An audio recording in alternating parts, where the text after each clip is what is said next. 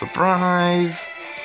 Let me introduce, introduce you guys my new tank I designed and built it. The Panzer 6 Tiger, one of the most powerful tanks of World War II. And this is now going to be used during the war of me versus Alice Angel. Has a 88 mm main gun. Very powerful. Bunch of a lot of armor. Has 18,500 health in total. Alice Angel, this is your this is your Valentine's Day gift.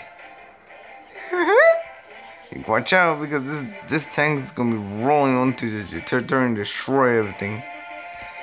Lol.